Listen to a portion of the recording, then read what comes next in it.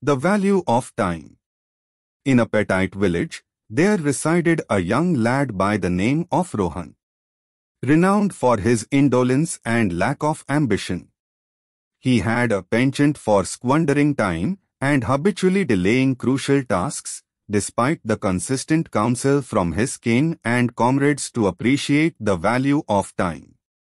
Rohan seemed impervious to the significance of this advice. One radiant day, a sagacious elderly gentleman named Mr. Gupta made an entrance into the village. Revered for his wisdom and adept problem-solving skills, news of Mr. Gupta's arrival swiftly circulated, reaching Rohan's ears.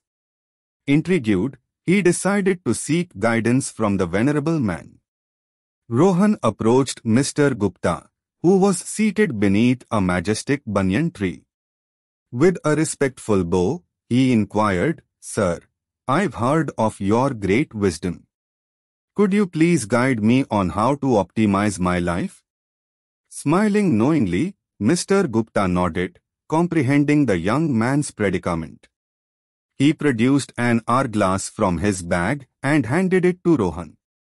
This hourglass symbolized time, he explained. Each grain of sand signifies a precious moment of your life. As Rohan held the hourglass, he could feel the weight of its significance. Mr. Gupta continued, Now, envision each falling grain as a missed opportunity. Every instance of procrastination or time-wasting results in a grain slipping away irretrievably.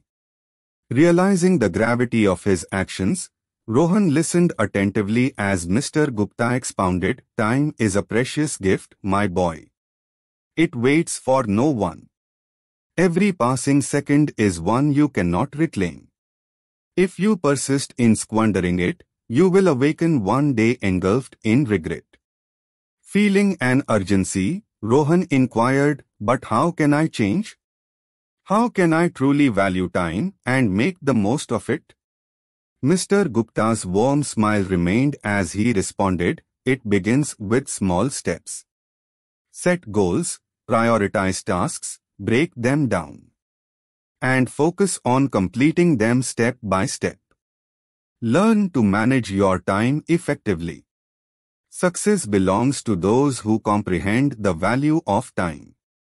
Taking the advice to heart, Rohan resolved to transform his ways. He initiated the change by organizing his daily routine, allocating specific time frames for various activities. Distractions were eliminated, and he concentrated solely on the task at hand. Gradually, Rohan observed a positive shift in his life.